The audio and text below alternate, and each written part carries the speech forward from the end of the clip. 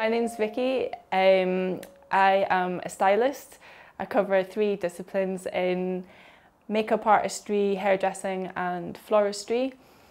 Um, I have a very long background, uh, creative background, doing things like window dressing, textile design. For my look today, I am imagining a beautiful, warm winter wedding um, set against the backdrop of greens.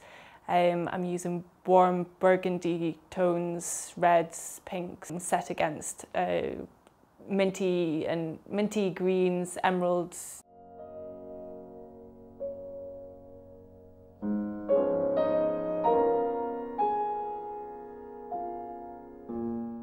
Women have been lining their eyes um, since the beginning of time, so this is not a new thing. I'm going to show you um, an eyeliner look. It's a classic eyeliner look um, particularly referencing the 1940s, 1950s. It's a look that you'll all be familiar with. It's slightly elongated and flicked up towards the outer edge. Very flattering and very classic and, and won't date.